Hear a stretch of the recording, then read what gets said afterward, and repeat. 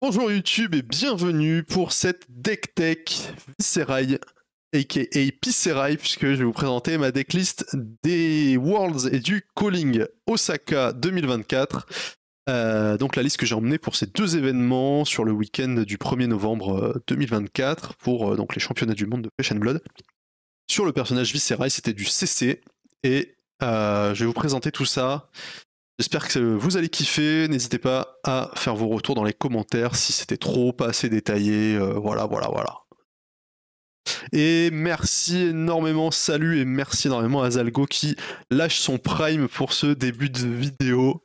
Trop cool mec, merci beaucoup pour le soutien, ça fait trop plaisir.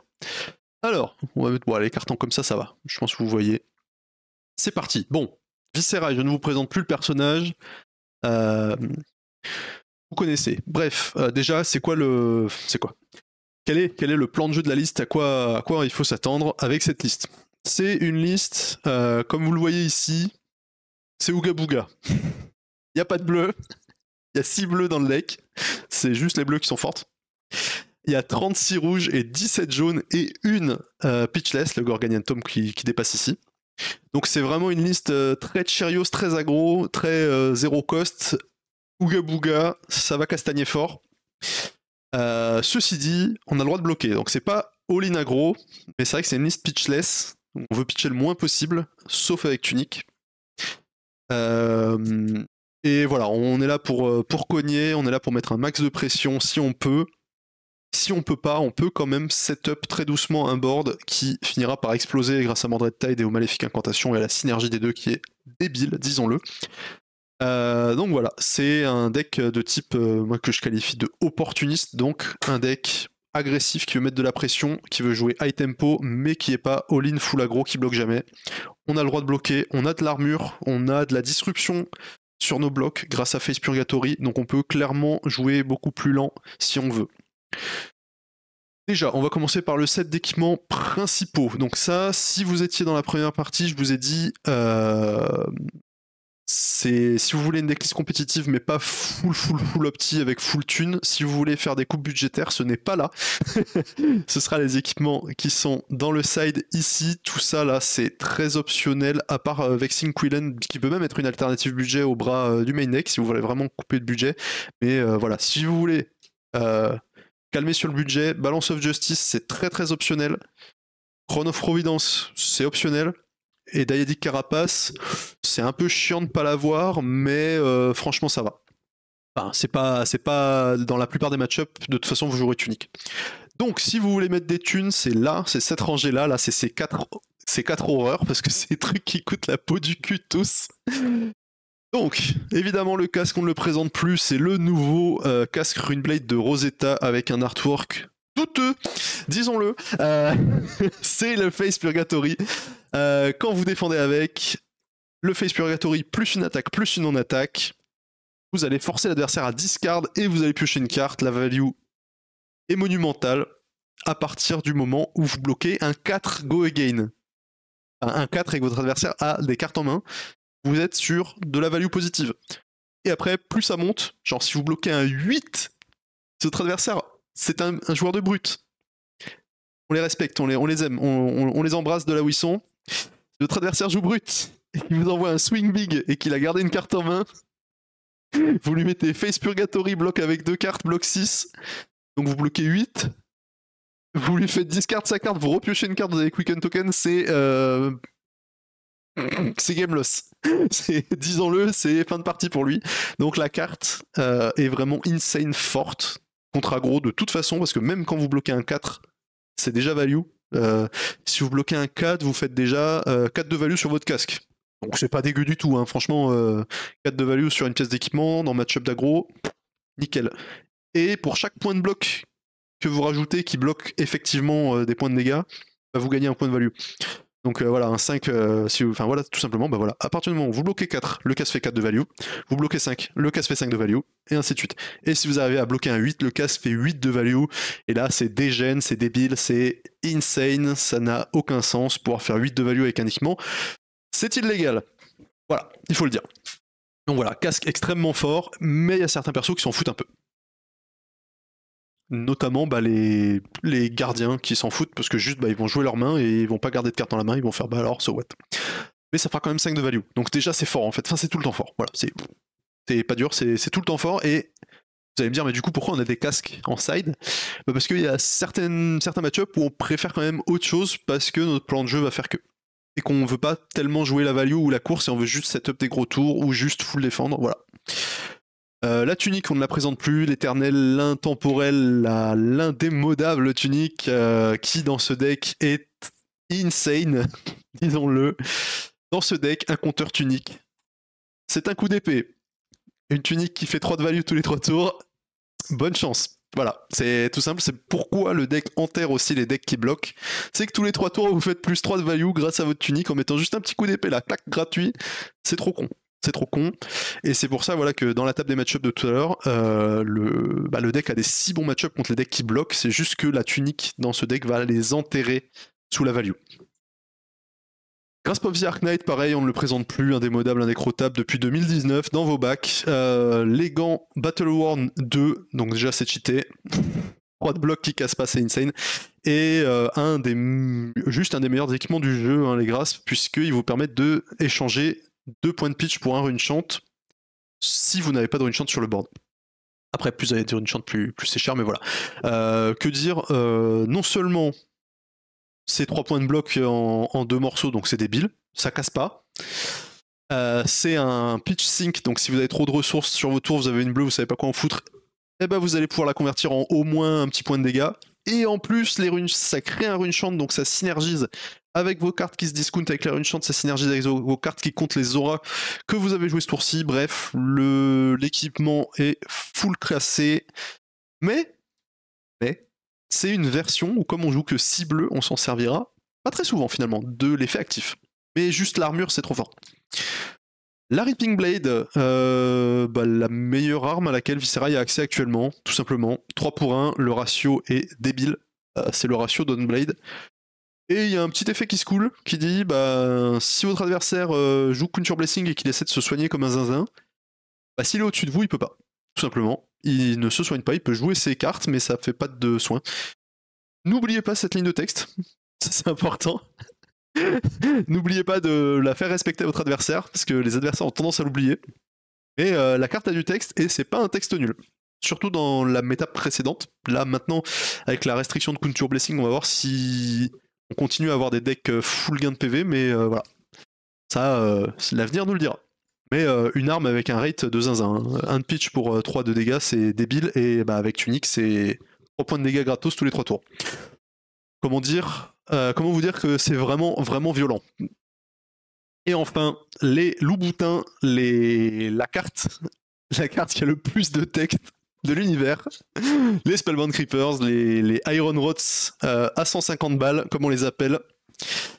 Euh, bah, vous connaissez, vous connaissez. Enfin, vous, n'avez jamais lu la carte vraiment, mais vous connaissez à peu près ce qu'elle fait. Ça cheat des points d'action, ça permet de jouer des, instants, enfin de jouer vos non-attaques en instant. C'est un petit point de bloc pour dire, voilà, en plus, histoire de, hein, fallait que ça bloque.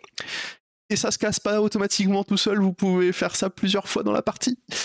Euh, bref, des chaussures parmi les plus cassées du jeu. Donc en fait, on a une suite d'équipements parmi les plus cassés du jeu. Et très souvent, hein, euh, très très souvent, euh, quand un perso a des équipements cassés, ça fait un bon deck, déjà. Et là, ouais, ça ne dément pas.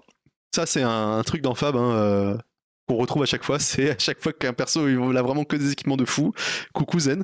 tout de suite, c'est fort. tout de suite, c'est fort. Et là, c'est très très fort. La suite d'équipements est vraiment insane. Euh, vous la testez, c'est la prouver. Alors, on est parti pour, la, euh, pour les cartes du main deck. Qu'est-ce qu'on a de beau là-dedans? Premièrement, on a une de mes cartes préférées du jeu. J'adore cette carte. Je sais pas pourquoi, je la trouve euh, trop stylée.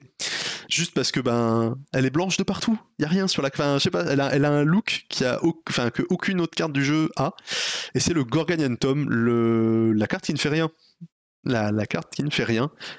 C'est juste une carte qui se recycle, mais dans Viscerai, elle a l'excellent goût d'activer votre pouvoir de, héros gratuitement, puisqu'elle se remplace en repiochant une carte. Attention, dans le miroir, c'est là où on s'amuse. C'est que le mec qui joue Gorganian Tom en deuxième pioche de cartes, et là, c'est pas drôle du tout pour le mec qui la joue en premier. Donc, essayez de la jouer le plus tard possible. Arsenal est là, et attendez tant que vous pouvez avant de la balancer. Parce que généralement, le mec qui la joue pour piocher 2, et il est très très bien parti pour exploser son adversaire. Mais voilà, j'adore la carte juste parce que c'est une carte qui fait rien mais qui fait des trucs, donc euh, j'aime trop ce genre de carte. Et voilà. Donc euh, vraiment une, Et dans le deck, c'est vraiment une excellente carte. Ça fait juste. Généralement, ça fait entre guillemets un point de value gratos puisque ça vous fait un proc de passif euh, viscéral gratuit. Donc, euh, que demander de plus? Que demander de plus? Un point de value pour rien du tout. Bah, on prend, tout simplement. Alors on est parti avec la, la pelletée. Alors on va pas commencer par là parce que ça c'est pas. On va commencer par les non-attaques en fait, c'est vachement mieux. Euh, les non-attaques c'est vachement mieux. Euh, on va pas faire ça, donc on a fait Gorganian parce que c'est un peu la, la spéciale. Euh, la star du deck, la nouvelle star du deck, on va dire, parce que l'ancienne star c'est Mordred évidemment. La nouvelle star du deck c'est Maléfique, Incantation. La carte qui tient tout le deck ensemble et qui fait que le deck va tourner à fond la caisse, c'est celle-ci. Euh, c'est une non-attaque Go gain coup de 0. Alors on va voir que le coup de 0 dans le deck c'est hyper important. On a vu, on joue pas de bleu, tout simplement. Donc, enfin, on joue très très peu de bleu. On est un peu comme dans Aza, quoi. On veut pitcher maximum pour 2 dans les tours en général. Donc euh, on va pas chercher à pitcher beaucoup plus. Donc tout ce qui coûte 0, on prend. Comme Azalea. Même, euh, réflexion. De toute façon, ah oui, d'ailleurs, je tiens à le préciser. Cette decklist là, je l'ai intégralement piqué à Brody. à Brody Spurlock, euh, qui avait train euh, avec, euh, avec un de nos partenaires de, training. Et du coup, bah, en fait, on a vu la liste, on a fait waouh, c'est bien ça. Et du coup, bah, j'ai trop kiffé le deck et je l'ai joué. Donc c'est cette liste-là, carte pour carte. non, le sideboard a été trifouillé derrière, mais le main deck c'est carte pour carte. La liste de Brody, elle est excellente et en fait elle est build comme un deck Azalea finalement puisque bah, c'est euh, voilà, énormément de rouge qui coûte 0 qu'on go again. Euh, un peu de jaune parce que bah, des fois il faut pitcher et ou des fois on a besoin d'effets euh, très particuliers bah, comme Maléfique Incantation où on en veut 6 dans le deck tellement la carte est essentielle donc voilà on joue tout, on joue tout ce qu'on peut, sauf la bleue qui fait vraiment trop peu d'effets. Mais voilà, tous les effets, les effets clutch, les effets vraiment importants, on va les jouer en rouge et en jaune. Et on, voilà, on a très très peu de bleu parce qu'au final on pitch quasiment jamais. Donc Maléfique, euh, voilà, c'est la carte qui tient tout le deck ensemble, c'est la, pièce de synergie euh, ultime. Ça va vous permettre d'activer bah, toutes vos, tous vos swarming, vos runes rager swarm, euh, vos runes flash, parce qu'on va voir qu'on joue beaucoup d'attaques qui, qui réduisent leur coût avec les runes chant, donc c'est hyper important d'avoir une maléfique pour avoir beaucoup de runes chant sur le board, voire deux maléfiques. Quand vous avez deux maléfiques, généralement ça part en couille complet. Parce que vous mettez à jouer des runes flash pour gratuit, des amplify pour gratuit, et là généralement euh, ça fait la gueule en face. Euh, Mordred, bon évidemment Mordred on ne la présente plus, c'est la God card, la power card ultime de Viscerai, la carte qui fait que à chaque fois que vous créez des runes vous en créez un de plus. Avec la capacité de héros de Viscerai, ça devient débile. Avec Maléfique, ça devient débile. Voilà, là, la carte est à son maximum de puissance qu'elle ne jamais, qu'elle n'a jamais été dans ce deck-là, puisque vous allez vraiment avoir énormément d'effets qui vont créer des runes dans tous les sens. Donc ça part en couille complet. Révéler une Rune Blood, une autre power card, le, giga extender de Viscerai, le, plus gros extender du deck, mais qui a de grosses contraintes qui va vous faire briquer les mains de temps en temps. Les mains, quand vous piochez deux révèles, quand, vous commencez à piocher votre main là, et que vous faites un révèle, vous faites oula, ok, va falloir que ça se mette bien, va falloir que j'ai une attaque, une non-attaque, un go again, un truc. Piochez un deuxième révèle, là vous faites oh putain. Quand vous prenez vos deux premières cartes et que c'est deux révèles et une rune blood, là c'est le moment de faire toutes vos prières parce que soit vous allez avoir une main du feu de Dieu, si vous avez bah, une non-attaque et une attaque go again, là ça part en ça part en feu d'artifice. Par contre, si vous n'avez pas ça, la main est poubelle. Mais genre poubelle, poubelle, et là c'est horrible. Donc, révèle, c'est vraiment le... les montagnes russes, vraiment l'ascenseur émotionnel du deck. C'est bah, comme le mec là sur l'artwork, voilà, il est, bien, taré, ça se voit.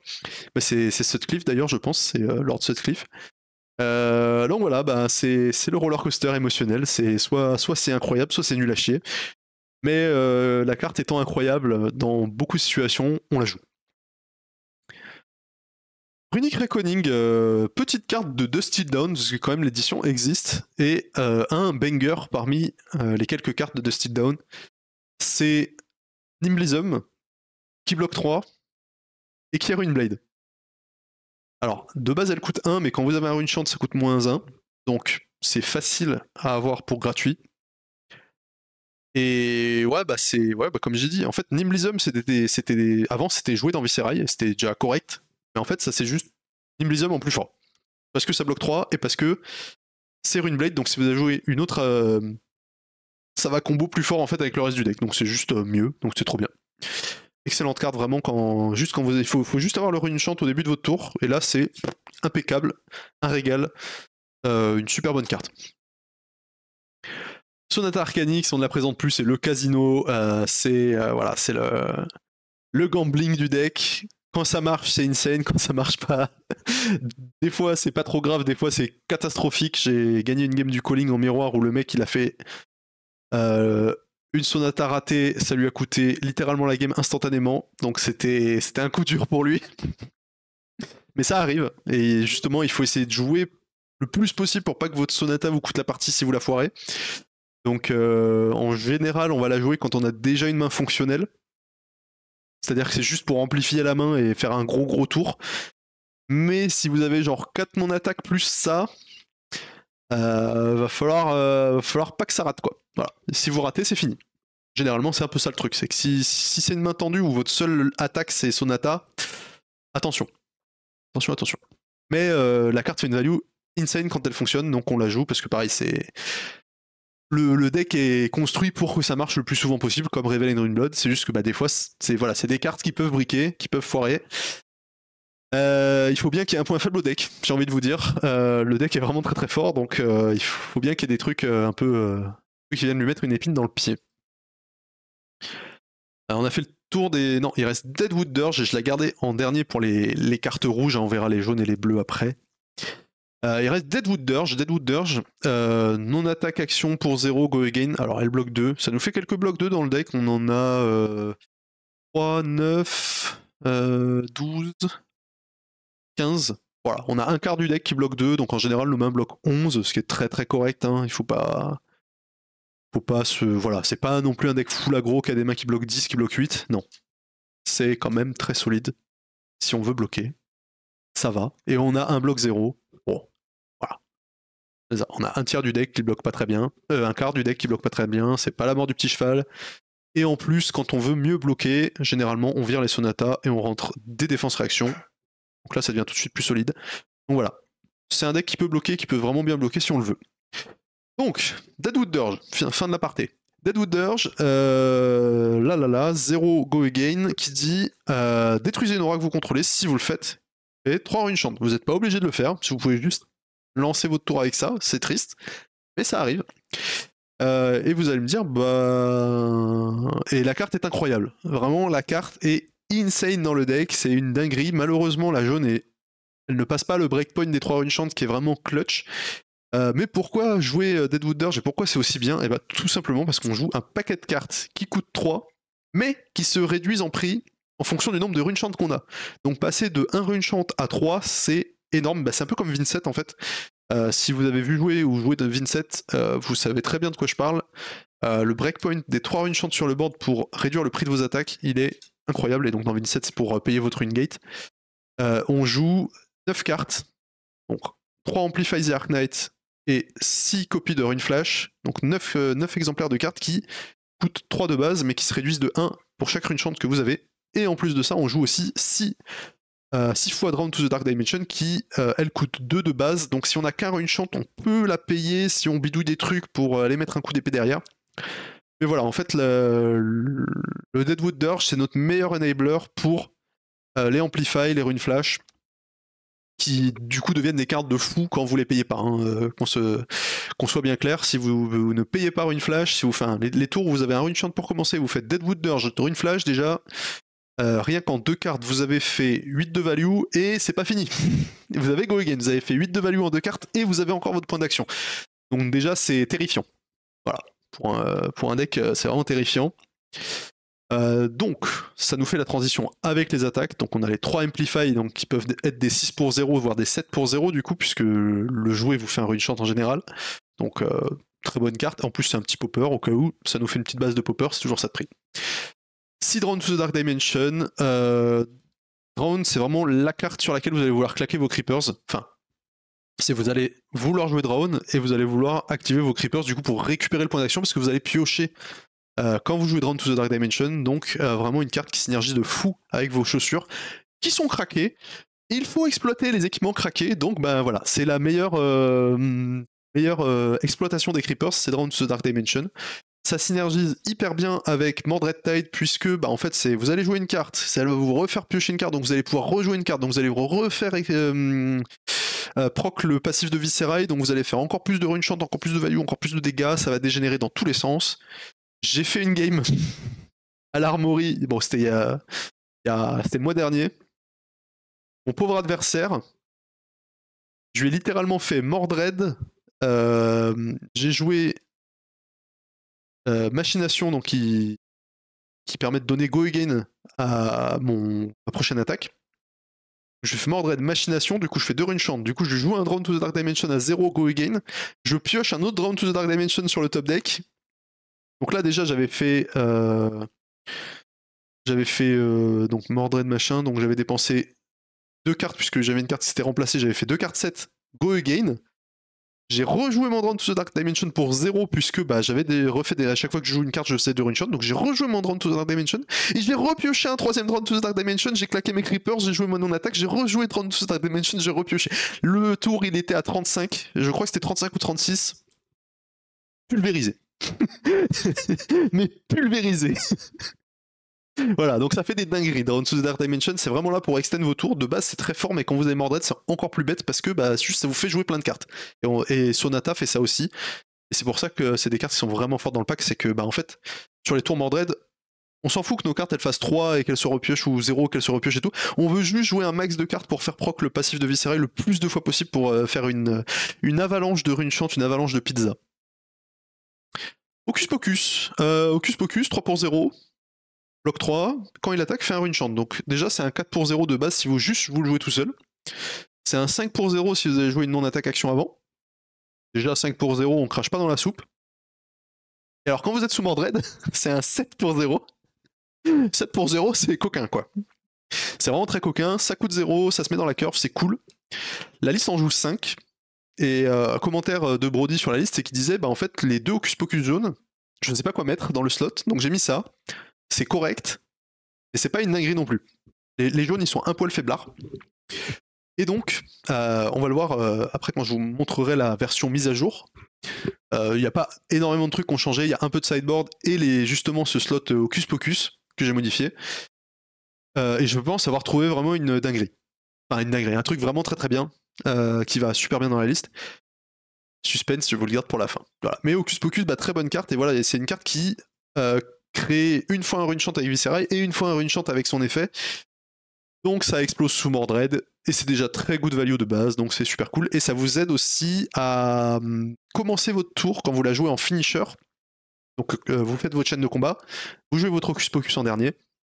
Et en fait ça vous aide soit bah, si juste vous faites un tour avec juste en jouant Hocus Pocus, ça vous fait votre 4 pour 0. Mais en plus, euh, vous, commencerez votre prochain tour avec un rune chant. Et donc, quand vous le jouez sur un gros tour et que vous finissez par Hocus Pocus, bah, vous allez finir avec deux ou trois runes chantes sur le board si vous jouez Mordred. Et ça vous permet de, bah, continuer à balancer des attaques euh, dont vous allez réduire le coût en fait. Et en fait, c'est une liste, euh, bah, vous, l'avez vu, on joue 3, 9, 15, 8 cartes, donc plus d'un tiers du deck, quasiment un tiers du deck, de cartes qui se réduisent, enfin qui, ont un prix réduit quand vous avez des runes sur le board. Et donc en fait, euh, commencer votre tour avec des runes sur le terrain, c'est hyper fort et c'est une decklist qui est construite pour ça en fait.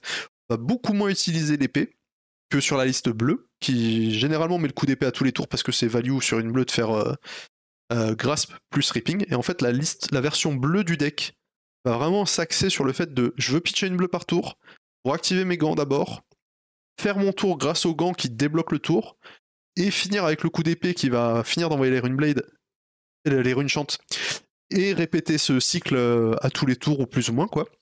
En fait, cette liste-là ne fait pas ça du tout puisqu'on n'a pas assez de bleu tout simplement. Et cette liste-là, juste, on vous jouez les cartes, vous balancez les cartes, et en fait, bah, grâce au pouvoir de Viscerai, à la capacité euh, déclenchée de Viscerai, terminer sur une attaque, et eh ben tout simplement vous allez avoir un rune chant qui traîne sur le board et qui reste là pour le tour d'après. Et en fait, ce rune chant va vous servir à redémarrer le tour d'après. Donc voilà. faut que vos coups d'épée soient réfléchis dans cette version-là.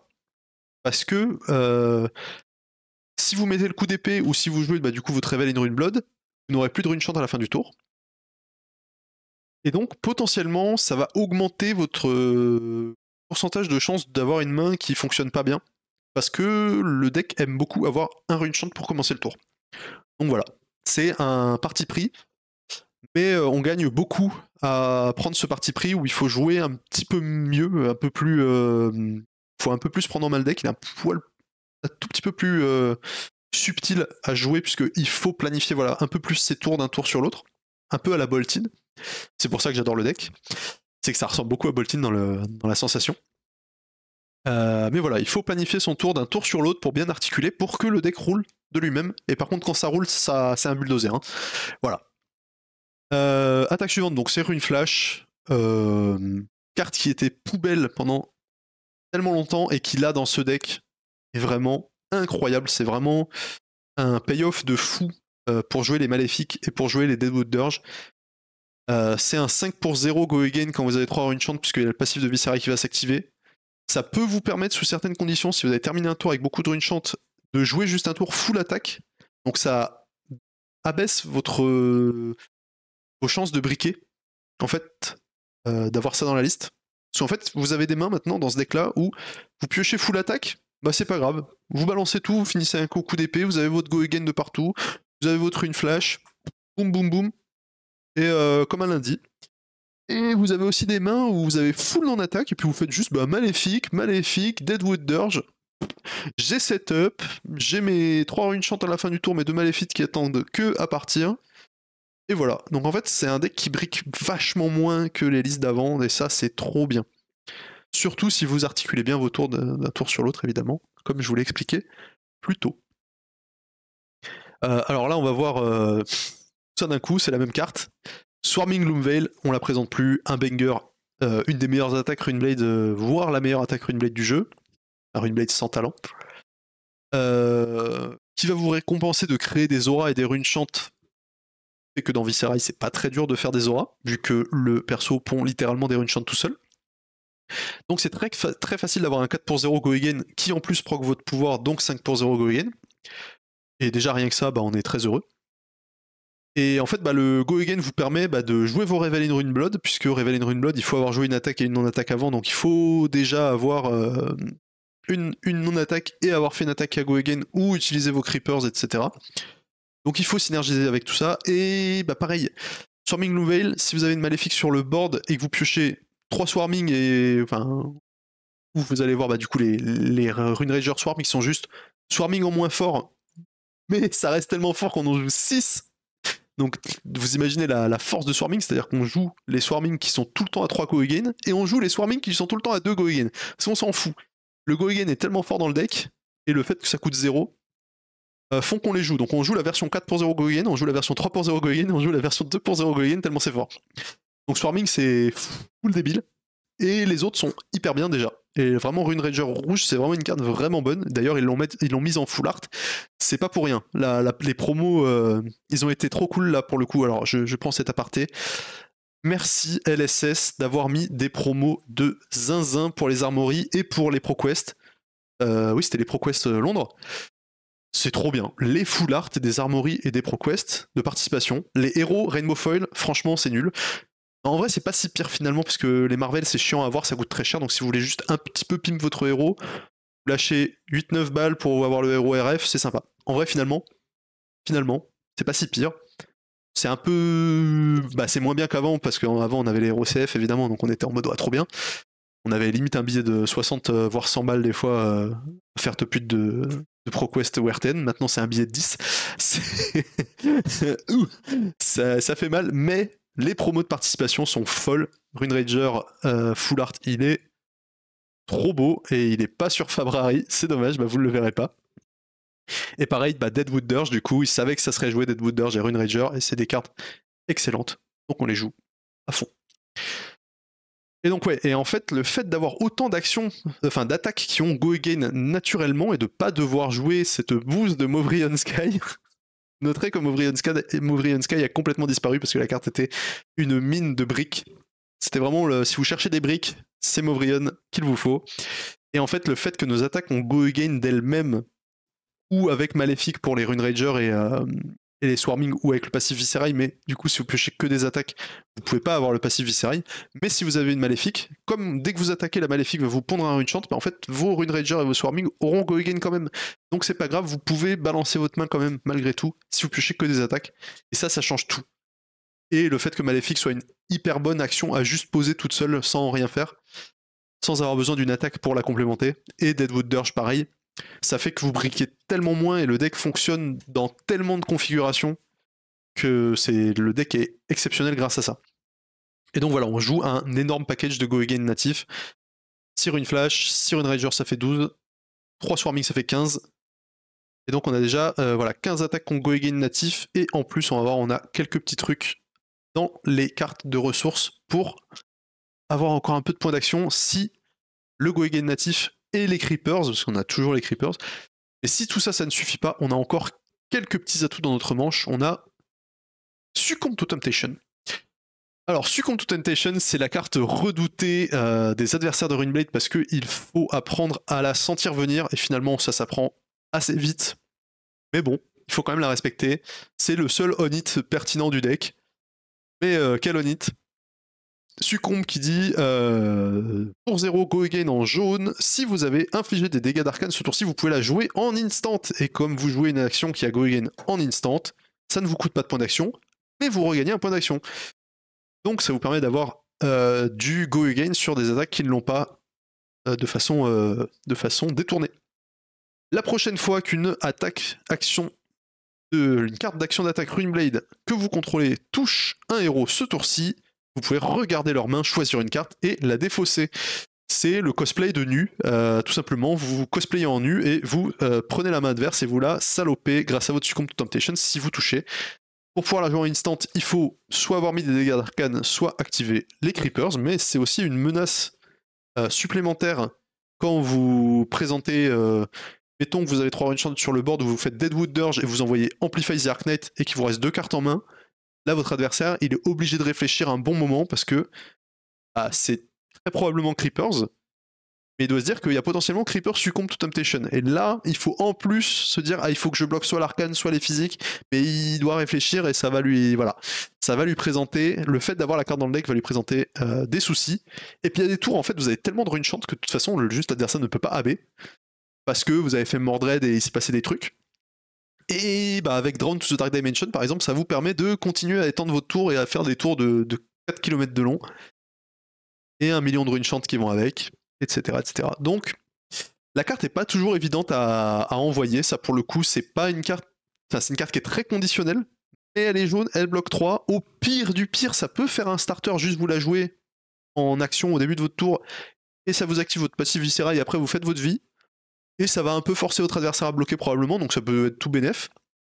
Et même cette config là, elle est pas si pire, donc franchement, c'est une carte qui est cool et comme dit là, c'est vrai que c'est une carte avec laquelle on va souvent bloquer ou souvent juste pitcher les ressources pour faire euh, les creepers et l'épée. Et vous noterez que creepers plus épée, on a juste besoin de deux de pitch, c'est pour ça qu'on peut se permettre de jouer autant de jaune et aussi peu de bleu.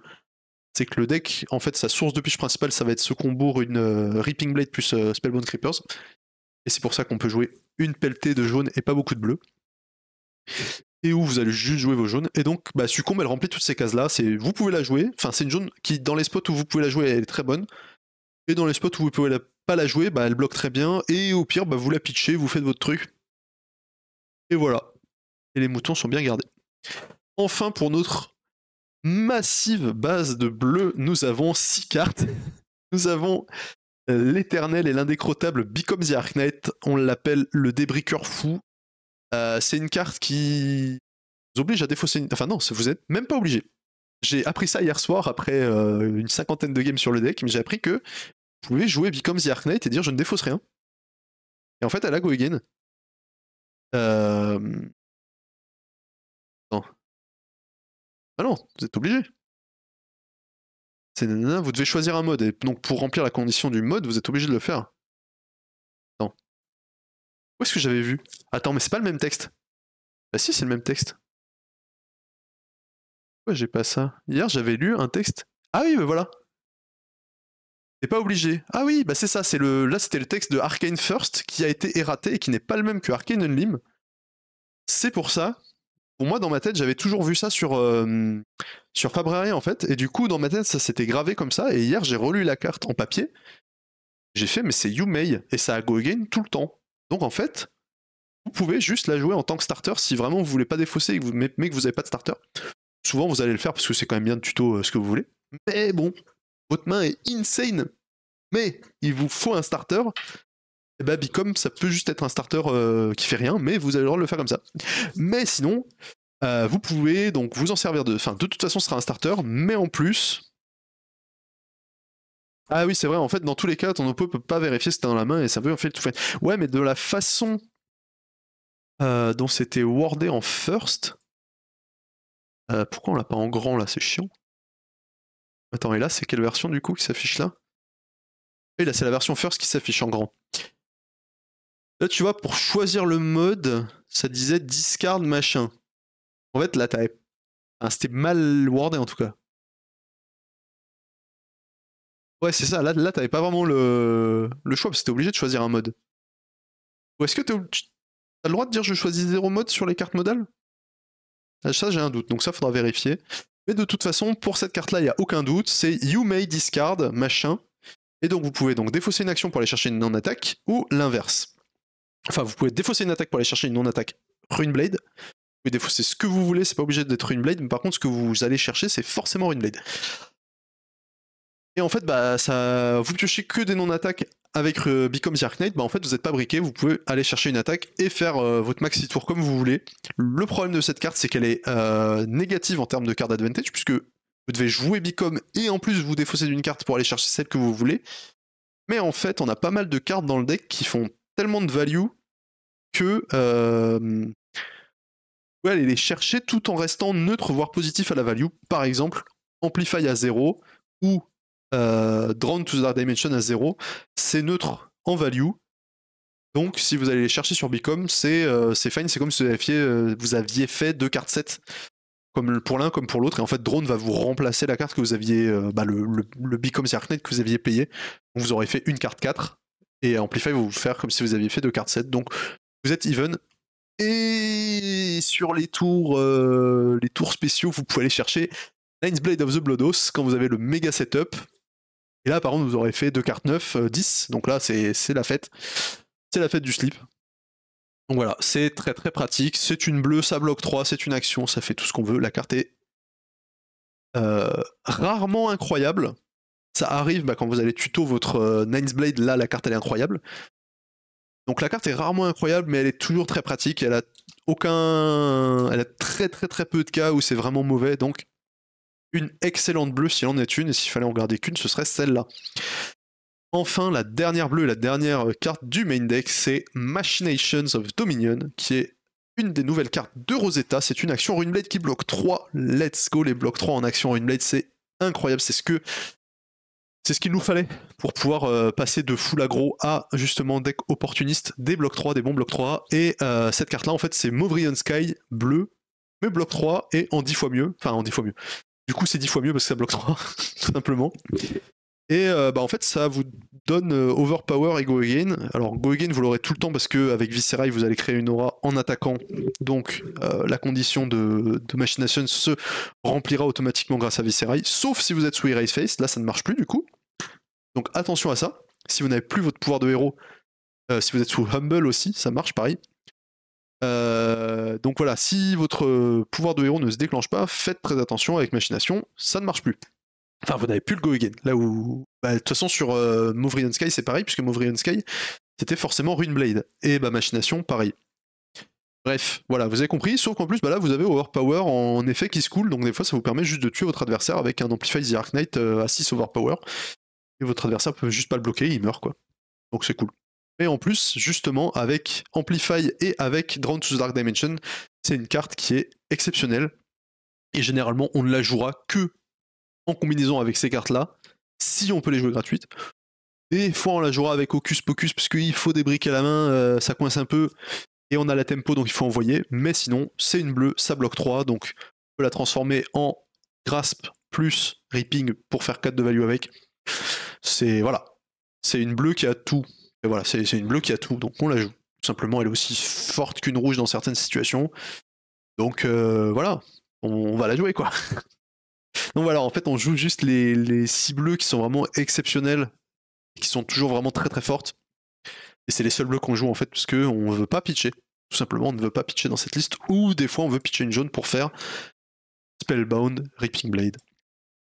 Voilà, vous avez le tour du main deck. C'est un deck qui est extrêmement synergique, donc très agréable à piloter parce que vos cartes vont euh, interagir les unes avec les autres. Il va falloir séquencer correctement vos tours. Il va falloir penser à voilà comment vous voulez ordonner tout ça. Donc c'est super agréable à piloter. J'adore le deck personnellement.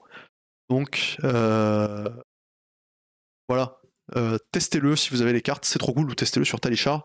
La decklist sera bien sûr dans le chat et dans la description. D'ailleurs, je vous la mets de ce pas si vous voulez la checker. Salut Récif, comment ça va? Tu arrives pile à l'heure pour le goûter? Le sideboard. Alors, en sideboard, on a tout l'argent du monde, puisqu'on a Balance of Justice, Crown of Providence. Donc déjà ça, voilà, comme, comme je le disais tout à l'heure, si vous voulez faire des coupes budgétaires, c'est vraiment ces deux casques-là qu'il faut enlever. Ils sont complètement optionnels et si vous n'avez que Face Purgatory, c'est pas très grave. Donc voilà, si vous devez garder un seul casque qui coûte de l'argent déjà, hein, Face Purgatory c'est une bonne cinquantaine d'euros, donc c'est déjà un billet à lâcher. Si vous pouvez lâcher ce billet, prenez-le parce que le casque est insane. Et après, quand vous voudrez euh, lâcher d'autres billets ou si vous avez ces staples génériques que sont Balance of Justice et Crown of Providence, puisque vous jouez depuis un petit moment à Flesh and Blood. Bah, mettez-les, c'est cool. Balance of Justice, il y a un monde où il va sauter dans ma version mise à jour. Là, je le jouais parce qu'en fait, vous allez voir, on a Balance of Justice et 9 défenses réactions qui bloquent 4. C'était pour passer en mode full block contre Dashayo, puisque c'est un match-up qu'on ne pouvait pas gagner à la course. Donc, on passait en mode full armure, full DR, full block et on fatiguait ça marchait, ça marchait pas. Enfin, ça marchait bien, ça marchait très très bien, même contre les Dashayo qui ne s'y attendaient pas. Et en fait, on a pu le voir au Worlds. Moi, j'en ai pas affronté, mais euh, mon collègue euh, Tom, euh, Tom qui a joué, a fait 5-0 en CC au Worlds. En jour 1, il est tombé contre deux Dashayo et il les a fatigués les deux. Ils ne s'attendaient pas du tout à ça et ils se sont fait ils se sont fait avoir comme des bleus, ils se sont fait méga fatigués par le collègue Tom, donc bravo à lui. Et voilà, le plan de side, c'était ça, c'était faire une surprise. Parce que les Dashayo s'attendaient à ce qu'on essaie de les bourrer. Et là, c'était pas du tout le cas. En fait, on attaquait même pas de la game. On pouvait pas attaquer parce qu'on jouait Redus. Donc, il fallait pas attaquer pour garder les rune sur le board. J'étais fait piéger pareil en armory. Bah ouais, voilà, exactement. C'est vraiment le, plan transformatif. Alors maintenant, voilà, vu qu'il y a eu le ban de High Octane, et que du coup, euh, Dashayo est moins forte contre les decks fatigue, on a peut-être besoin de un peu moins de bloc 4. Donc moi j'ai déjà cut les Redus. J'ai gardé quand même 6 DR parce qu'en vrai les 6 DR ça se met très très bien pour gérer des match-ups comme Azalea par exemple et pour pouvoir jouer dans le match-up et avoir un bon game. Parce que si vous n'avez pas les 6 DR par contre Azalea c'est ingagnable. Mais si vous avez les 6 c'est euh, un 60-40 pour elle voire même voire même 55-45 quoi. Vous êtes un poil derrière, mais c'est vraiment très très bien jouable et vous pouvez carrément gagner la game. En plus, on a Diadic Carapace qui nous fait euh, du fridge en plus et de l'armure en plus. Et donc voilà, les, slots, euh, moi j'ai cut les Redus tour une chante, mais on va voir si contre Dashayo ça passe ou pas. Et j'ai laissé Balance of Justice qui sert que contre ce match-up là. Probablement que ça va sauter aussi euh, à l'usage, voir s'il y a encore des Dashayo dans votre méta local. Parce que vous attendez ce qui est, qui est pas mal de Dashayo à votre tournoi, si vous faites un gros tournoi. Voilà, ça c'est un méta call. Pour les Worlds et pour le calling Osaka, j'attendais beaucoup de Dashayo, parce que pour moi c'était le meilleur deck de la méta. Et j'en ai pas affronté du tout, mais bon. Le sideboard était là au cas où, et bon, ben les DR, je m'en suis servi, enfin les 6 DR, je m'en suis servi parce que j'ai tag des Azalea, mais pas les Redus et la balance.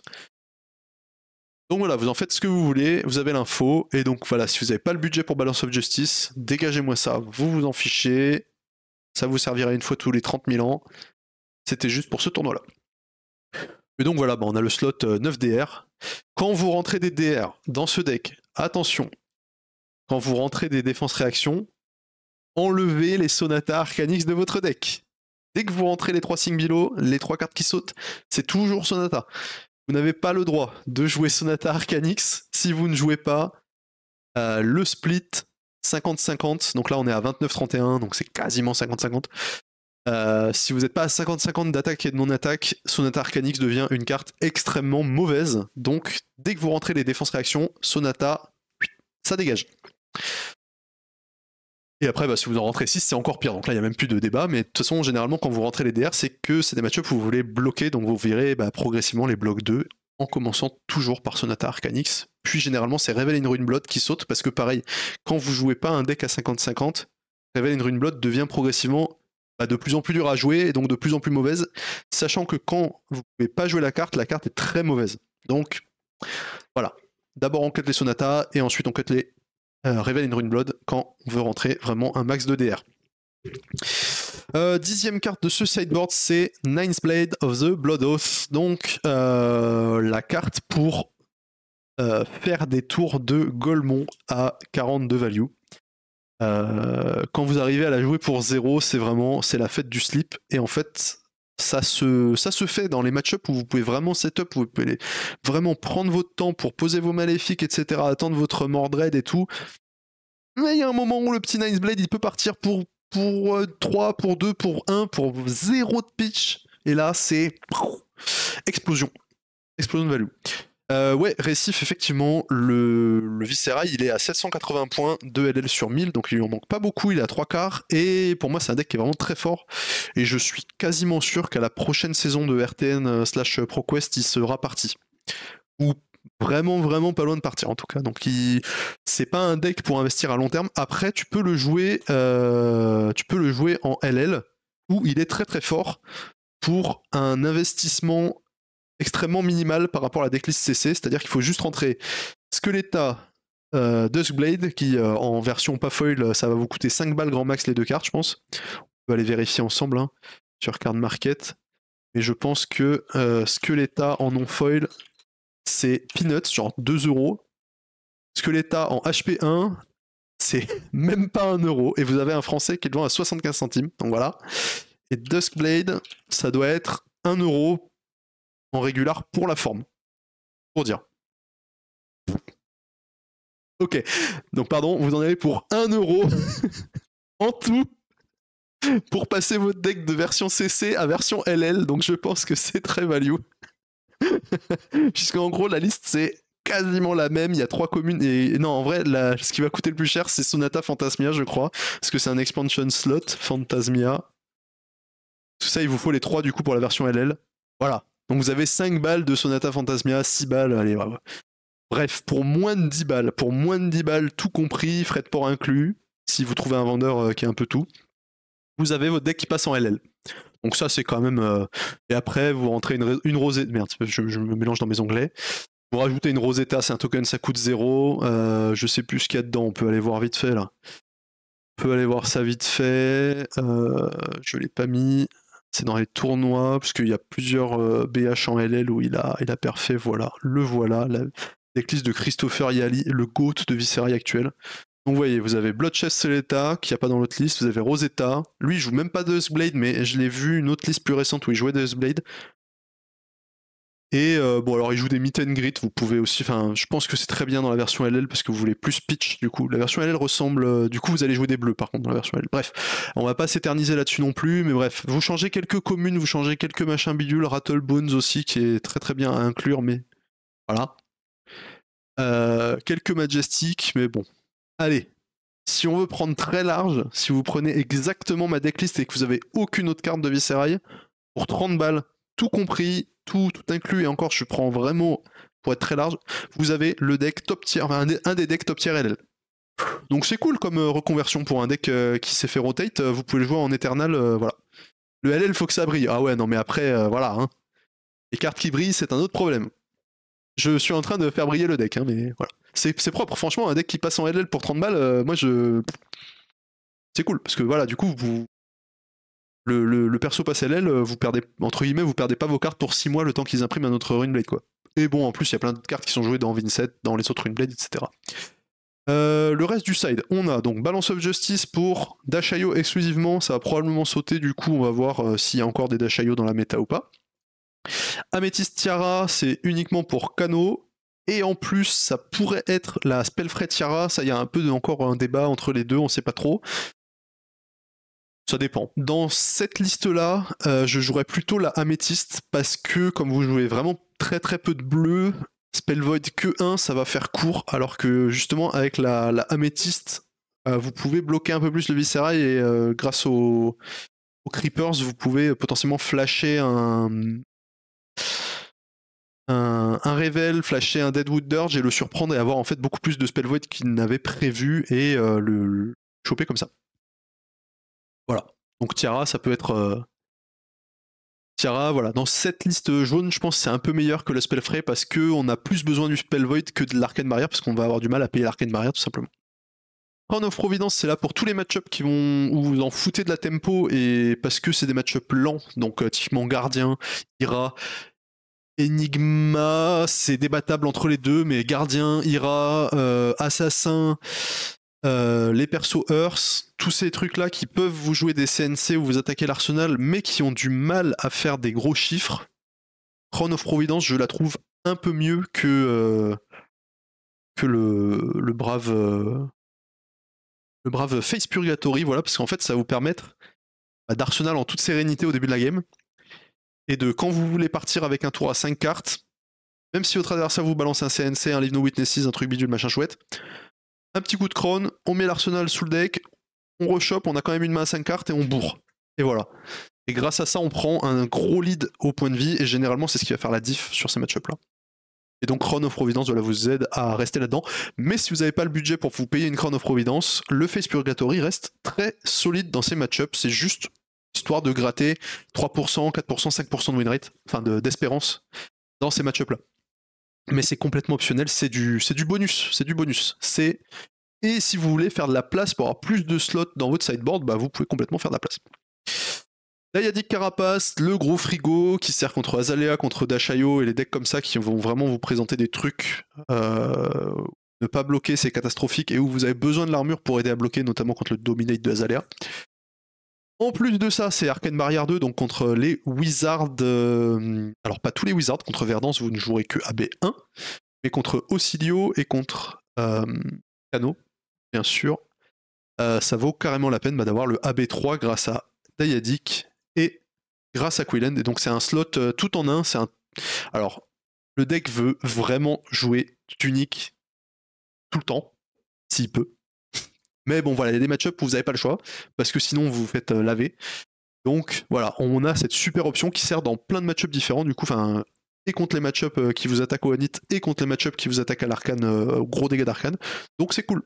Tout en un, c'est parfait, ça économise beaucoup de place dans le sideboard.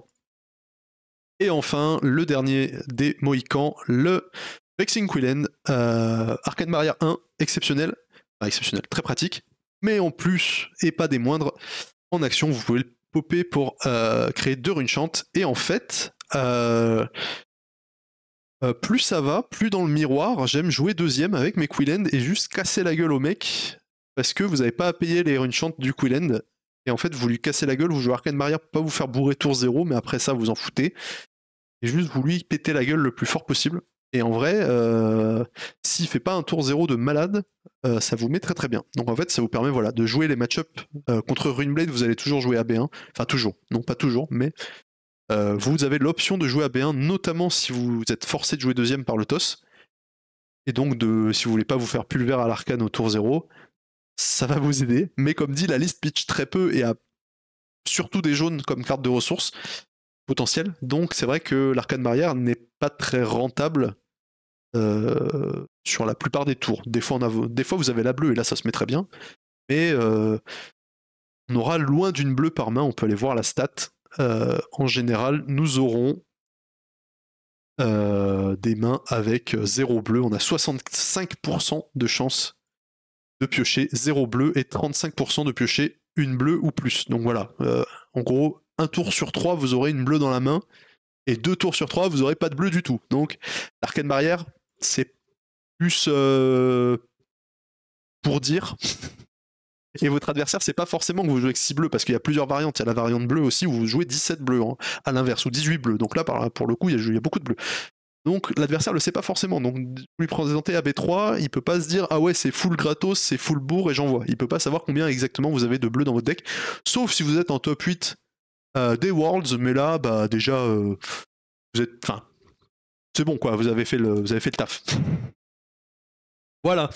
Donc ça, c'est la decklist. Donc le main deck de Brody Spurlock avec mon plan de side à moi, que j'ai joué donc à Osaka et que euh, IG Tom, Tom Escoffier a joué aussi aux Worlds d'Osaka euh, pour un, superbe profit. Moi au calling, euh, donc au Worlds, j'ai fait 3-2 euh, en CC, mais j'ai une game où j'ai juste c'est moi qui ai très mal joué parce que j'étais vraiment fatigué, j'ai eu vraiment un gros coup de barre sur la fin de la game et j'ai vraiment je me j'ai déraillé complet.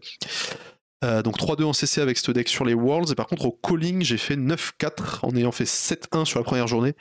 Donc c'est un deck qui est vraiment très solide. Et donc le, collègue, le collègue Tom il avait fait 5-0 sur son jour 1 en CC avec le Viscerail, et le lendemain, je sais plus combien il a fait en CC. Mais il avait dû faire 2-3 euh, ou 3-2, donc ça reste très très. ça reste une très bonne perf au global. C'est soit il a fait 6-2 euh, en CC, soit il a fait 7-3.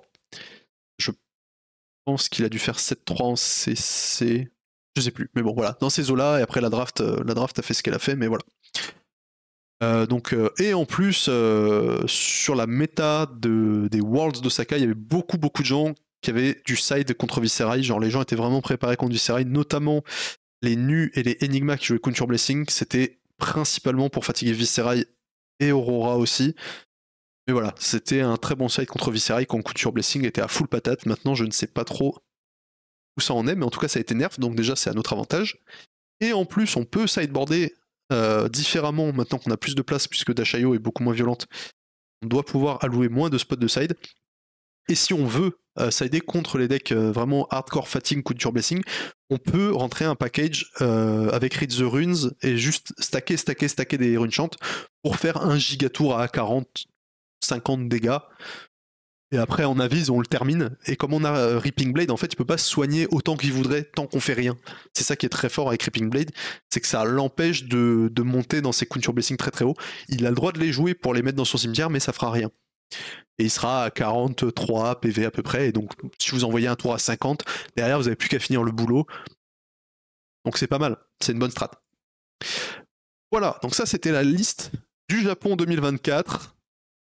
Euh, qui m'a euh, plutôt bien servi au calling, puisque je suis arrivé donc 38ème sur 650 et des brouettes.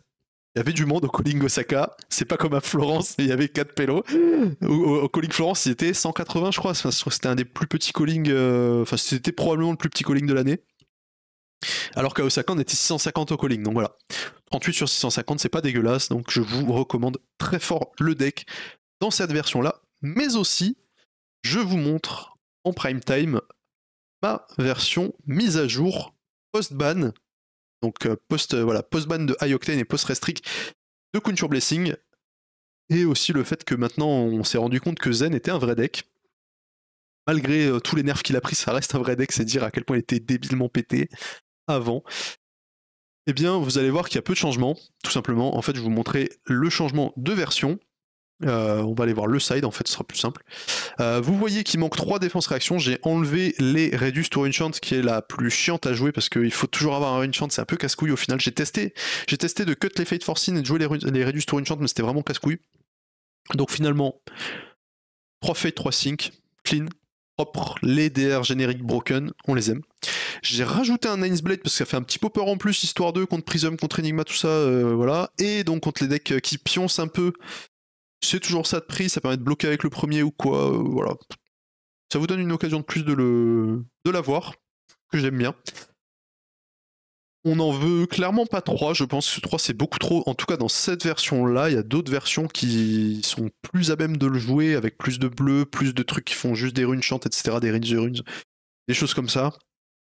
Mais dans cette version là, je pense que 2 c'est le grand max, et en vrai c'est déjà beaucoup, faudra peut-être repasser à 1. J'ai laissé la balance of justice, mais comme dit, c'est vraiment, euh, c'est vraiment pas sûr qu'elle reste. Ce sera à, expérimenter, voir s'il reste des Dashayo dans la méta ou pas. Et donc, ce qui est rentré, c'est Condemn to Slaughter. Euh, Condemn to Slaughter, c'est là surtout pour Zen, parce que bah, en fait, vous pouvez lui casser son Zen state avec, et ça, c'est trop bien, parce que du coup, ça change tout. si vous pouvez continuer à lui bourrer la gueule comme vous voulez, c'est trop cool. Et c'est cool aussi contre Vincent, qui est un match-up qu'on avait dit euh, qui était difficile. Eh bien, euh, une pierre de coups. ça vous êtes contre Vincent puisque vous pouvez lui casser des runes et casser des runes à Vincent, ça peut lui faire très très mal. J'ai eu la situation qui m'est arrivée à l'armory pas plus tard que hier soir où en troisième ronde, on était en 2-0 tous les deux avec mon adversaire, je crois. Ah non, j'étais sur appareil, j'étais sous appareil. Donc lui, il était en 1-1 et moi en 2-0, mais bref. Euh... Jouait Vincent et bah, il a fait un rune chant sur son premier tour. Et moi, je lui ai cassé son rune chant sur mon premier tour. il n'était pas content du tout. Ça l'a mis dans une sauce euh, monumentale, ça lui a foutu euh, tout son tour en l'air, il a dû euh, passer en mode full block, full setup, et c'est pas vraiment ce que vous voulez faire quand vous jouez Vincent contre Viserai. Vous voulez le pressuriser et le disrupt, ce qu'il n'a du coup pas du tout pu faire, et du coup ça lui a clairement coûté la game, ce condemne tout l'auteur du premier tour qu'il a expédié, qu'il a renvoyé dans le Shadow Realm d'où il venait. Et pareil, bah, ça peut arriver aussi au milieu de la game où la Vincent la recommence à setup et là vous lui, vous lui coupez le, le sous le, pied. Et des fois c'est juste bah, ça va passer de 3 rune chant à 2 rune chant, mais du coup ça suffit plus pour faire ce qu'elle voulait faire et ça va lui bloquer son tour, etc. Donc c'est cool. Ou vous pouvez lui péter une maléfique ou des choses comme ça. Enfin bref, ça a plein de. Contre, contre Vincent, ça a plein d'utilité, donc c'est cool. Et mais oui, voilà. Enfin, vraiment la cible principale, c'est le Zen State Token de Zen. Il n'a pas moyen de faire d'autres auras, donc il peut pas, euh, peut pas choisir ce que vous lui cassez. Ce sera forcément le Zen State quand il fait. Donc vous gardez votre petite condemn to slaughter en arsenal ou vous allez le tuto avec votre, euh, votre Become the Arc Knight quand le moment est venu. Vous lui cassez le Zen State et vous repartez de plus belle et je pense que du coup le match-up devient bien plus abordable qu'avant. Et donc le gros changement, enfin le gros changement, c'est deux cartes, mais les deux cartes qui ont remplacé les Hocus Pocus jaunes, vous les avez vues dans votre coin de l'œil, c'est Ravenous Rabble. Et oui, on joue des cartes qui sont pas Runeblade dans ce deck. Mais en fait, bah, j'étais là. Brody, euh, Brody avait dit je ne sais pas quoi mettre dans ce slot de, Hocus Pocus jaune, mais bon, bah, j'ai mis ça, c'est cool, ça va, mais c'est pas dingue. Et moi j'étais en mode bah ouais, et j'ai cherché dans Runeblade et j'étais en mode bah y a. À part mettre plus de bleu, y a pas grand chose, donc j'avais testé avec plus de bleu, mais finalement j'étais en mode bon, ça change pas ça fait pas une grosse diff, ça n'améliore pas grand chose, donc c'est un peu euh, du pareil au même, quoi. Il y a des situations c'est mieux, d'autres c'est moins bien, bref. Vous l'aurez compris. Et je me suis dit, bon, bah, qu'est-ce qui est fort comme carte? Si possible, fallait que ça ait Go Again, le remplacement, parce qu'en fait, c'est vrai que le Go Again, ça aide à jouer les Revel Tour in Blood. Donc plus on a de Go Again, plus on est content. Je me suis dit, bah, il y a quoi comme carte? Puis bon, bah tant pis, pas forcément Runeblade, on va faire, on va faire 100 s'il faut faire 100. Parce que Revel ne regarde pas si les cartes que vous avez jouées sont une blade, il veut juste que vous ayez joué une attaque-action et une non-attaque-action. Je me suis dit, bah qu'est-ce qu'il y a Go Again? Et qui bah, tape, euh, tape fort, puisqu'on veut taper avec ce deck. Et qui irait bien dans un pack où il y a, que 6 bleus et 38 rouges et une 0 de pitch, qui du coup permet de faire la Rabble à 5. Et bah la réponse était Ravenous Rabble. Euh, et j'ai pu tester ça, donc euh, j'ai fait, pour le moment je suis à 4 games de test, hein. c'est pas euh, c'est pas beaucoup, mais j'ai pu tester ça à l'Armory, j'ai pu tester ça vite fait sur Talichar, donc j'ai fait quelques games avec 4-5. Et pour le moment, je suis très très très agréablement surpris parce que c'était un peu ce que j'attendais, mais du coup voilà, le résultat concorde à mes attentes, donc je suis très content. Ravenous, ça marche nickel. La grande question maintenant, c'est est-ce qu'on en joue deux? Est-ce qu'on en joue trois? Euh, Si on en joue une troisième, ce serait pour remplacer Drawn to the Dark Dimension jaune, euh, une dernière copie. Euh, juste pour faire bah, un peu moins de cartes qu'on pas Go Again, un peu plus de cartes qu'on Go Again, donc peut-être détendre un petit peu les tours agressifs. Alors, plus ça va, plus on pousse vers un deck aggro. Là, ça va finir par devenir un deck full Charios, full aggro, full Gugug.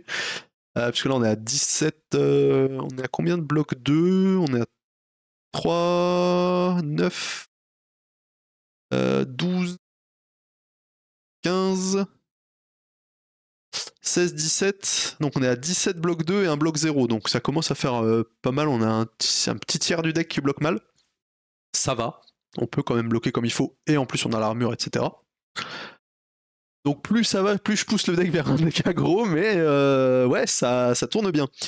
Et donc, euh, quels sont les, petits, les petits trucs bonus que apporte Rabble à part juste être un 3, euh, J'avais fait le calcul, je vais vous chercher ça. Je crois que c'était 3,76 en, moyenne les dégâts que ça fait. Donc très très bien, 3,76 Gogin. Euh, c'était. Nanani nanana. Euh... 3,57. Pardon, je suis allé un peu haut.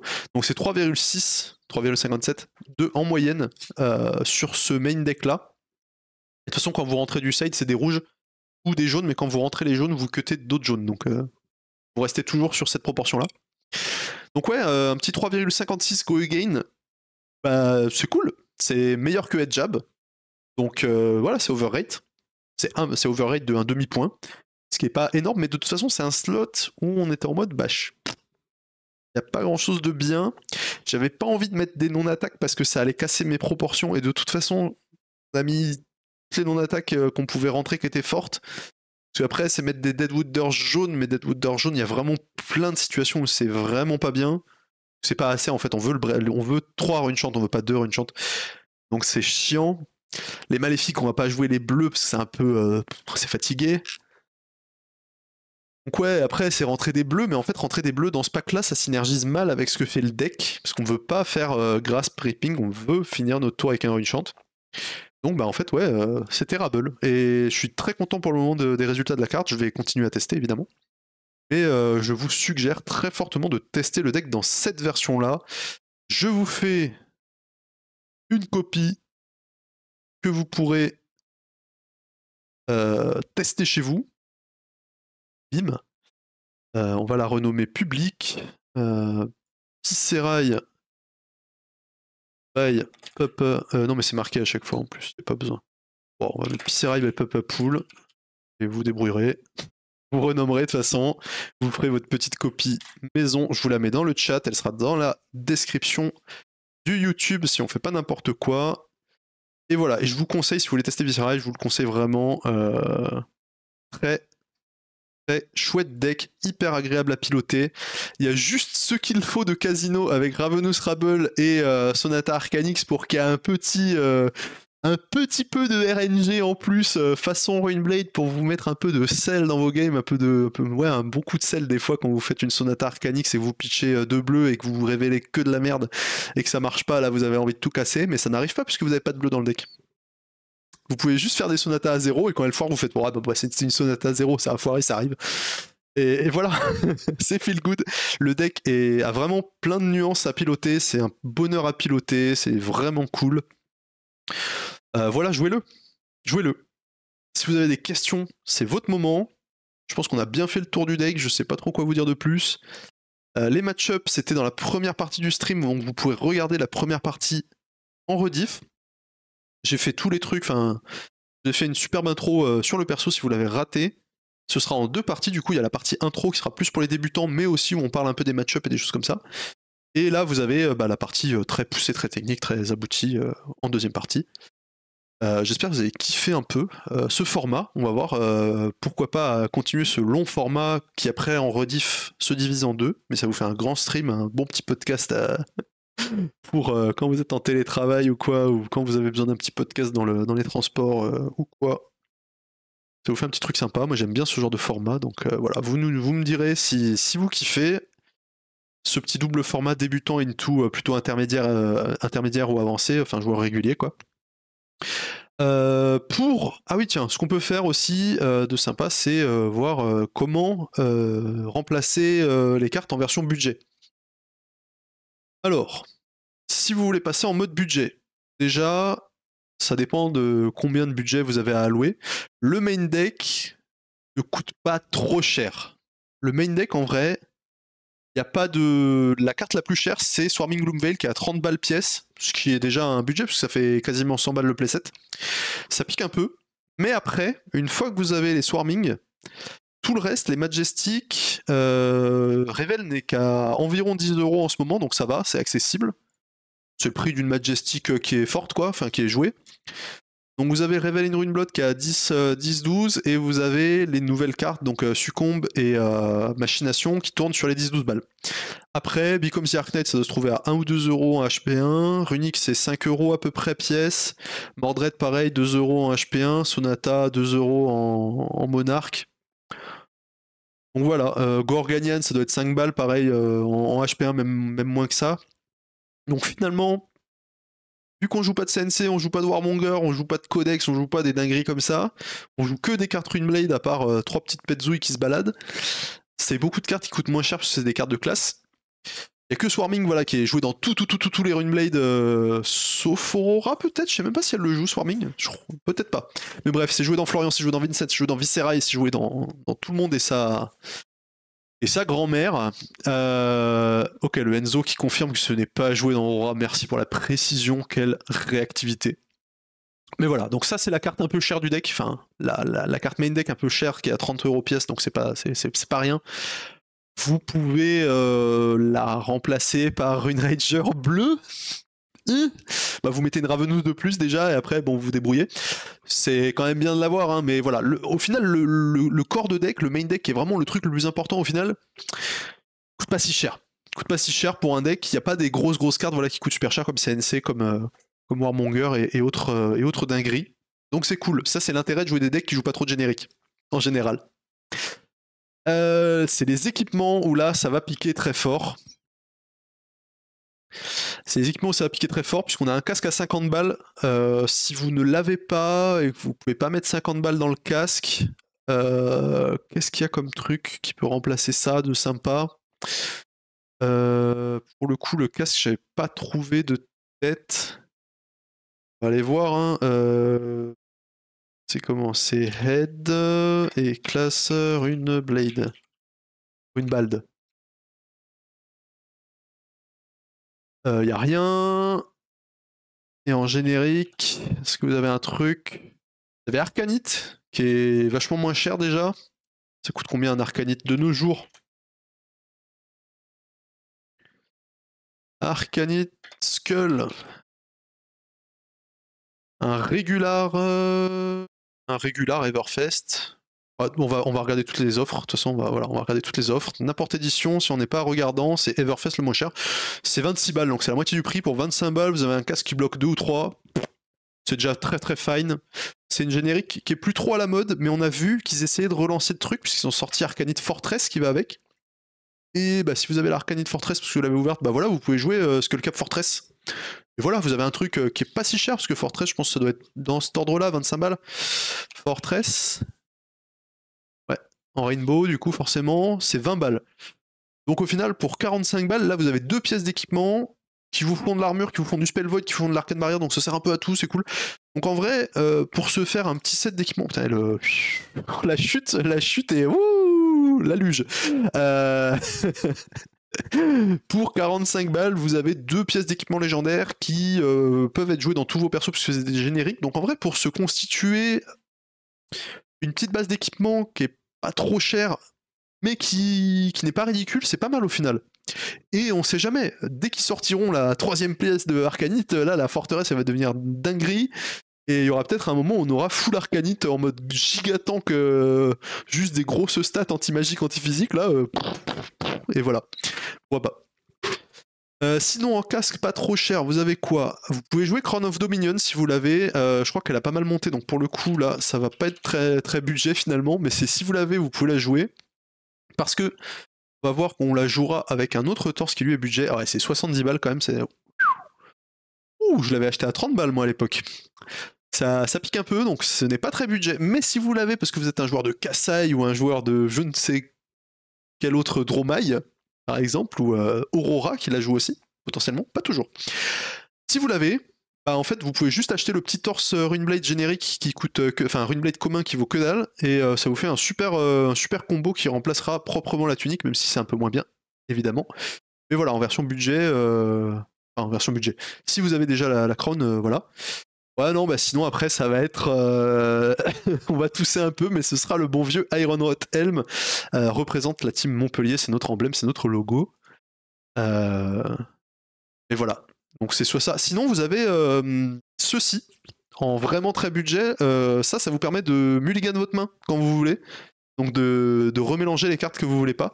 Ça peut sauver des mains dans Viscerai, donc finalement, en vrai, c'est pas trop mal. Et ça, ça vaut peanuts. Ça vaut un centime, même pas. Vous le trouvez dans le bulk gratuit à votre euh, local game store. Vous demandez, euh, enfin, votre magasin de jeux local. vous demandez à vos potes, enfin à, votre commu locale, ils vous en donneront gratuitement, sans problème. Donc voilà, ça c'est vraiment pas mal. En vrai, comme vraiment en mode budget, je pense que c'est meilleur que le Iron Rod du coup. Donc si vraiment vous avez, avez pas les moyens de, voulez vraiment euh, pas, pas, mettre des, billets dans les équipements tout de suite, parce que c'est compliqué, celle-là, celle-là c'est vraiment bien. Parce que ça va vous permettre, bah, vous piocher une main qui marche pas très bien, bah en fait vous mélangez une partie et hop, ça vous remet.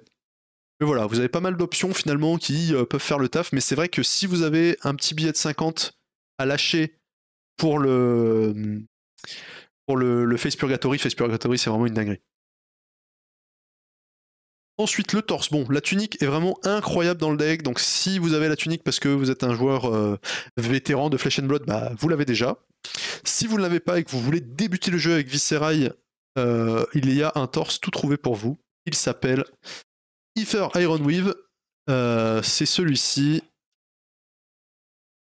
Franchement, c'est propre. Ça a Battleborn 1, ça vous fait 2 de pitch sur un gros tour.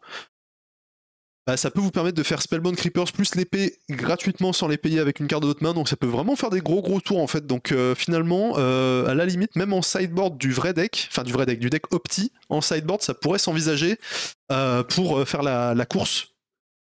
Quand on veut vraiment aller à, fond la caisse, mais je pense que Tunic sera toujours un peu mieux quoi qu'il arrive. Mais bon, ça, ça remplace très bien, ça coûte rien du tout, c'est pareil, c'est une commune à 5 centimes même pas pouvez euh, probablement l'avoir gratuitement si vous demandez à votre commu locale ou à votre magasin dans le bulk.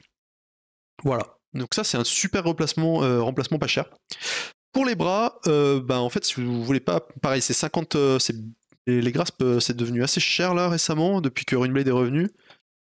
je sais plus combien ça vaut. Grasp of the Arknight, bon ça c'est la Rainbow Foil donc c'est pas ça qu'on va regarder. On va regarder toutes les offres. En allemand vous l'avez pour 50 balles auprès d'un mec qui a une vente sur. Bon, c'est 60 balles. C'est 60 balles, et encore, vous l'avez pas en anglais ni en français. Le premier en anglais, bord blanc, c'est à 70. Donc ouais, ça commence à chiffrer pas mal les graspes, hein, ça coûte cher. Vraiment cher. Et donc si vous voulez pas mettre le petit billet, là pour le coup, il y a une alternative toute simple. Elle est dans le deck de toute façon, c'est la Queen End. Ça coûte 4 balles, je pense. La, CF, donc la Colfoil, euh, la vraiment pimp, elle coûte genre 10 balles, je pense, 12 balles.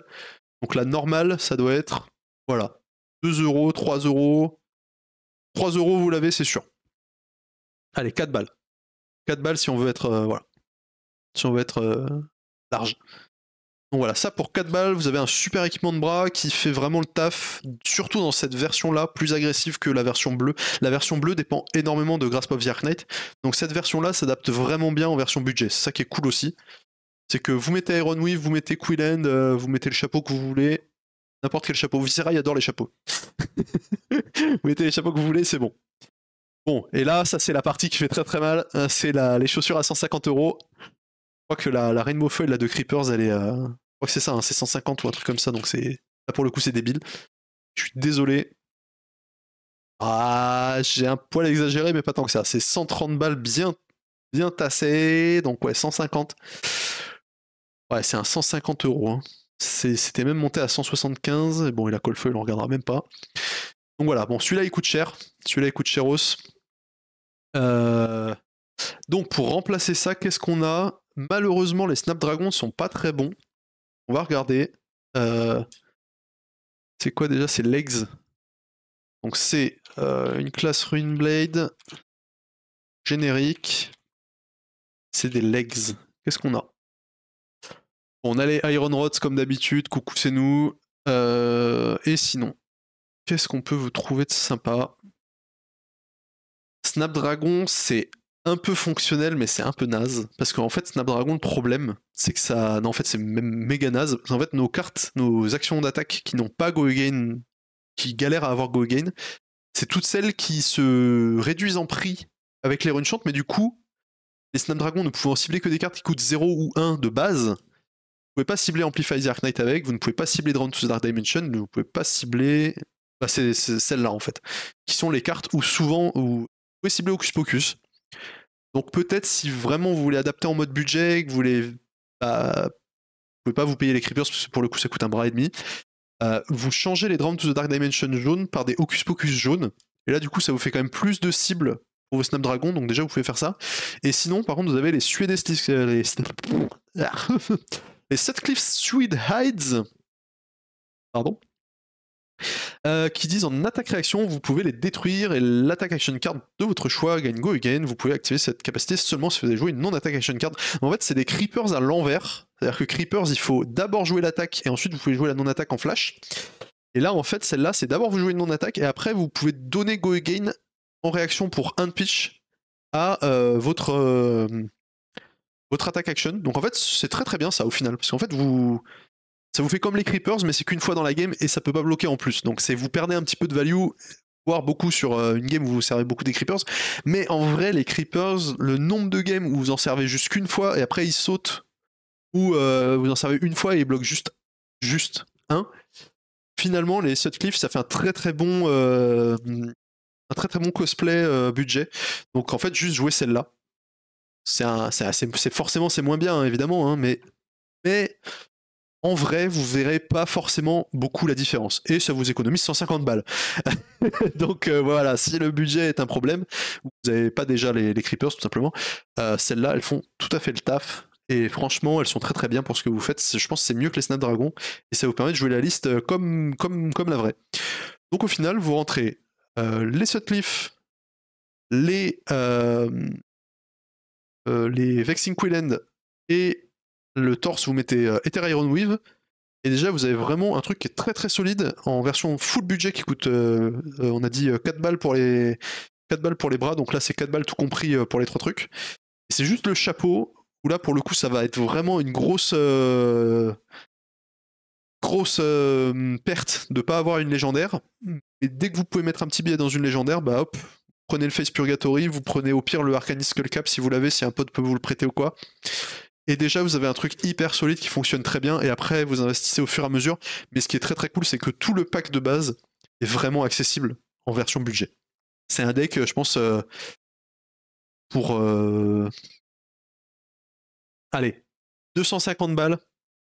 Bon, c'est déjà cher, mais après, voilà, vous pouvez remplacer par des, communes tout. En vrai, en version, euh, en version commoner, en version commoner, le deck pue la merde parce que vous n'avez pas les maléfiques et là, c'est catastrophique. Mais en version juste des communes, des rares et des Majestic pas chers, le deck peut vraiment très bien tourner déjà de base. Donc vous pouvez aussi euh, partir sur une version à 50 euros et vous avez déjà un pack euh, qui tourne très très bien et vous pouvez vraiment vous amuser euh, à le jouer et il y aura déjà beaucoup de subtilité. Donc ce sera vraiment cool. Et après vous investissez au fur et à mesure, vous complétez d'abord le main deck et après vous prenez le chapeau et après vous investissez dans les gros équipements qui coûtent vraiment cher. Donc le tunique, la, tunique, les, les, bras et les chaussures. Et puis après si vous avez si c'est le si vous avez gagné au loto, euh, vous pouvez aller investir dans les équipements de sideboard, mais ça vient après. Bah voilà, je pense qu'on a fait un bon tour d'horizon de tout ça. Euh, je pense que j'aurai pas le temps malheureusement de faire une game parce que après ça va être un peu compliqué, ouais ça va, ça va faire trop tard. Euh, donc on fera des games une prochaine fois. Mais euh, j'espère que la decklist vous aura, euh, enfin la deck tech vous aura plu, que l'introduction perso vous aura plu aussi. N'hésitez pas à me faire des retours bah, voilà, sur le Discord France, euh, en réponse au post à la danse que j'ai faite, ou même dans le channel Viscerai plutôt. Pinguez-moi dans le channel Viscerai, je réponds à tout ce que tout ce qu'on me demande. j'espère que ça vous aura autant plus qu'à moi. Moi j'adore vraiment le deck, j'adore le perso. En plus, vu que je suis allé à Osaka, j'ai pu avoir la version japonaise qui est trop stylée. Je sais pas s'ils l'ont mis sur Fabrari. Ils l'ont pas mise. Euh, l'artwork alternatif euh, des, promos d'Osaka, il est trop, trop, trop stylé. Donc, euh, je suis trop content. Et voilà, franchement, un deck de fou, un deck trop fun à jouer. Et en vrai, j'ai hâte de voir ce qu'ils vont nous proposer après en Runeblade sans talent. Mais peut-être que derrière, ils vont faire comme pour Illusionniste et il n'y aura plus de Runeblade sans talent. Peut-être ils vont juste dire bon, bah, maintenant Runeblade c'est Shadow, Earth, Lightning. Il y a déjà assez comme ça et c'est pas la peine d'en faire un où il n'y a pas de talent. On verra. On verra si nous mettent un remplaçant ou pas. Et voilà, c'est la fin de cette deck tech. Merci à tous d'avoir suivi le live. Merci d'avoir maté la rediff ou maté la rediff sur YouTube. J'espère que vous aurez autant kiffé qu'à moi. Merci énormément à ceux qui sont venus participer dans le chat, ça fait trop plaisir. Vous retrouvez les decklists dans le chat et dans la description euh, sur euh, YouTube. Des gros gros bisous, c'était Papa Pool, c'était Enki pour vous servir. On se retrouve euh, la semaine prochaine avec des trucs bien stylés. Je ne vous, je ne vous spoil pas encore. Les trucs bien stylés, ce soit soit la semaine prochaine, soit la semaine d'après. Mais promis, j'envoie des trucs vraiment cool. Des guides euh, vraiment, vraiment super sympas. Soit dans une semaine, soit dans deux semaines. Ils sont déjà écrits et tout, mais c'est juste j'attends parce que ils sont dans des tuyaux euh, de publication et on va voir s'ils arrivent à être publiés ou pas. Ça fait trois mois que j'attends, donc à mon avis c'est mort. Donc euh, on va, je vais vous les sortir sur Heavy directement. Et sinon, je trouverais bien un truc à vous faire des games, du, des deck tech, des machins, des tier list, des trucs comme ça, voilà. Des gros gros bisous, à très très bientôt sur Heavy Hunters, bye bye et à demain pour le Fab News par les collègues bien sûr. Peut-être que j'y serai, peut-être j'y sais pas, le vendredi c'est compliqué. Allez, ciao ciao, des gros bisous, à très très bientôt